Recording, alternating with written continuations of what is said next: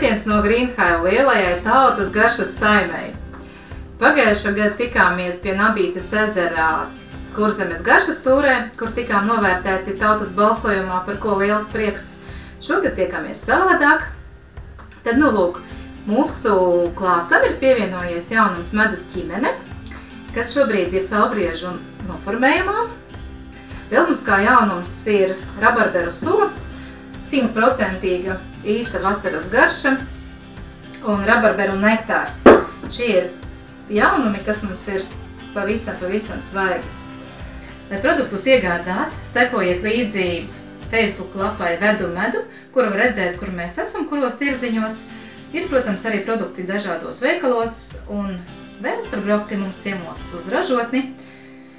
Mīļi gaidīti visi!